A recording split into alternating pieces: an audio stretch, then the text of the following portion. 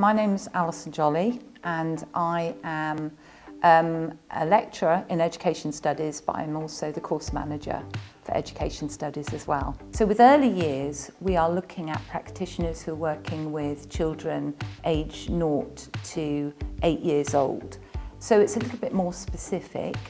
So if you're thinking about, um, if you're really interested in younger children um, and really thinking about child development and supporting children in that initial early stage, then early years is the route. So most people who go into early years then are looking at um, roles within nurseries, uh, nursery schools, they're looking at um, um, leading within nurseries. So an early years practitioner is often a skilled um, member of staff who is uh, driving through policy within nurseries.